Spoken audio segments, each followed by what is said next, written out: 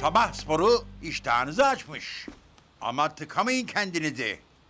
Yukarıdaki börekten yemezseniz küserim. Ben rejim yapıyorum ama. Aman senin neyine? İnceciksin. Bazıları öyle düşünmüyor. Bazıları çok ayıp ediyor o zaman. Beşir'den haber var mı? Var. Konuşuyoruz Cemile ile. Ne oldu iyi değil mi? Toparlanıyormuş da yavaş yavaş. Rahat uyuyamıyormuş. Gözünü kapattığı anda kabus görüyormuş. Ay yazık. Adnan Bey, Adnan Bey diye sayıklayıp duruyormuş. Allah Allah. Neden acaba? Öyle çekip gittikten sonra utanıyor tabii. Günaydın. Günaydın. Beşir'i mi konuşuyorsunuz? Kabus görüyormuş ya onu söylüyorum. Ya Sinirleri de yıprandı tabii ondandır.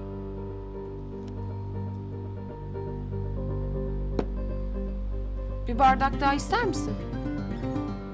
Behlül? Yok yok. Çıkayım ben duş alayım. Ben bir tane daha içeceğim. Kolay gelsin. Sağ Dur olun. vereyim ben. Afiyet olsun laati lokumum.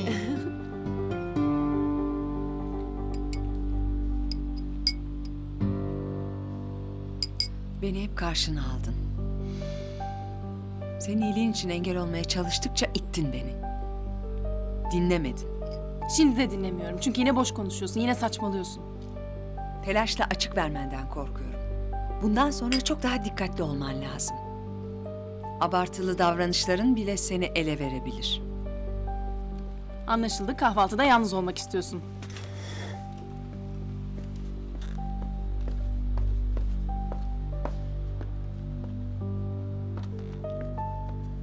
Beşir yaptı. Emin misin? Ondan başkası olamaz. Hilmi Önal'a o söyledi. Ondan beklenir. Dün halamın telefonla amcama söylediklerini duydu tabii. O sırada gitmedim oraya. Duydu. Amcam biri Hilmi Önal'a aynen nakletmiş dedi. Beşir'den başkası olamaz. Sen de saf saf güvendin ona. Taviz verdin o kadar. Hani susacaktın? Onun yüzünden bu aptal yüzüğü parmağına taktın da ne oldu? Durdurabildin mi onu? Ne olacak şimdi? Geri dönüşün de yok. Behlül yukarı çıkmıyor muydun sen? Ee, ben önce gazetelere bir bakayım dedim. Günaydın yok mu? Günaydın. Günaydın. Günaydın. Bonjour deme. Bonjour mademoiselle. bonjour.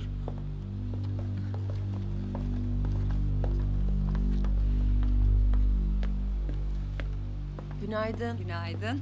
Günaydın. Günaydın. Günaydın.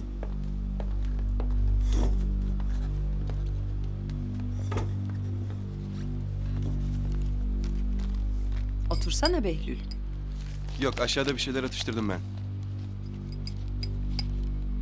Nihal bugün çiftliğe gidelim mi? Bilmem ki. Bir değişiklik olur. Beşir'e de bakarız hem.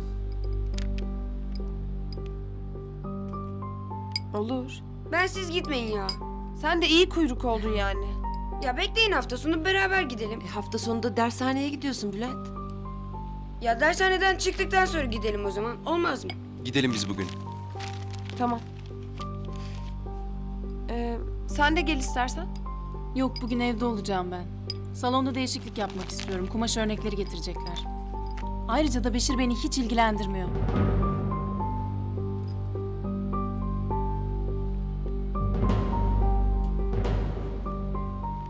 Ben sizin gibi bağışlayıcı olamıyorum. Ne yapayım? Siz gidin iki sevgili çiftlikte baş başa vakit geçirin biraz. Uzaklaşın şu kalabalıktan. E o zaman al duşunu çıkalım bir an önce. Tamam canım.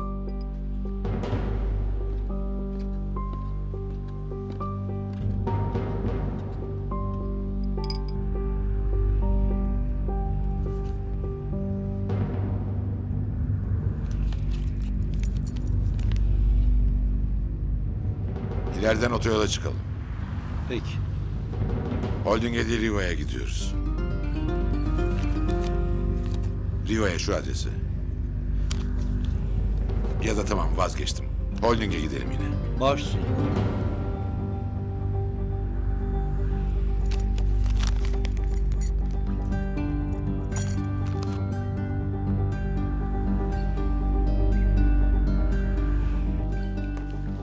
Bülent'ciğim acele etsen iyi olur.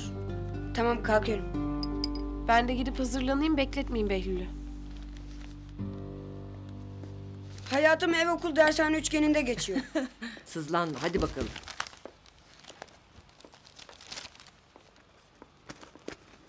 Hastaneye gidecek misiniz bugün?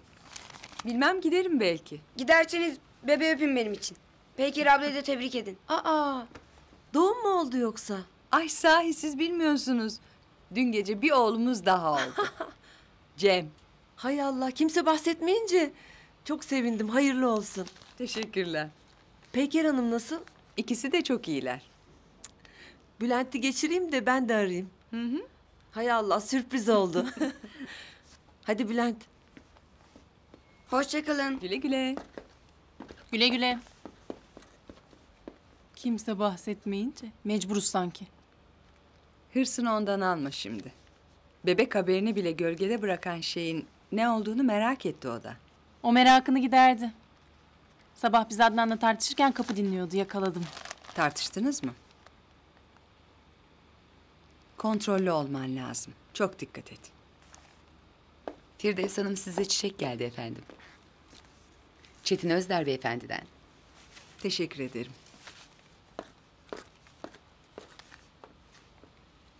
Dün gece için teşekkür ediyor. Bu çiçekler bütün korkularını alıp götürür artık. Bu kapı yüzüne kapanacak diye tir tir titriyordun. Yaşadın işte bak. Daha büyük bir kasanın kapağı aralanıyor. Seni hep kendime benzetiyordum ama hayır. Yanıldım galiba. Hiçbir zaman senin kadar ne gözü kara oldum ne de senin gibi böyle cahillik ettim. Benimle uğraşma. Yeni heveslerinin keyfini çıkar.